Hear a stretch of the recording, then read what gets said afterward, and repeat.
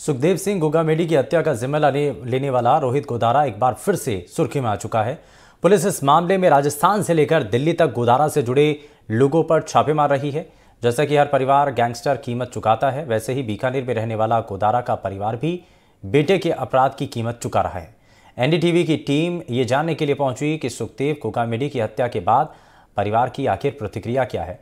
रोहित गोदारा के पिता, भाई और माँ ने जो बयान दिया वो सुनकर आपके भी रोंगटे खड़े हो जाएँगे। राव तो मानो है मेरे तो हनुमान दास रावदास। बीकानेर गए तो यहाँ ही बात ही मारकन तो और मैं तो अभी रवती को। बटा जागी ठीक है बेटा नाम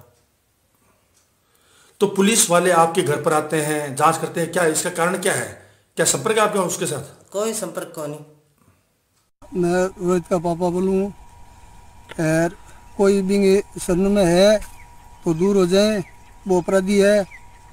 और बारह तेरह सालों में बिंगा भुगत भोगी यहाँ वो घर से निकले हो। जहाँ बाद हमारे कोई संपर्क में नहीं है।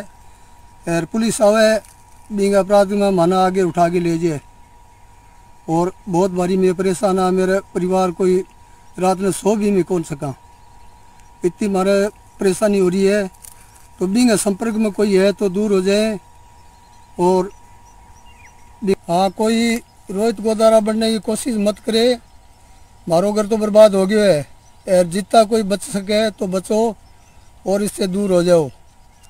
और अपराधी सरणी में कोई है तो बेटा, मेरे कहने का हाथ जोड़ के, मेरी कहने की विनती आई है कि इससे दूर हो जाओ। और मारो घर बर्बाद हो गया।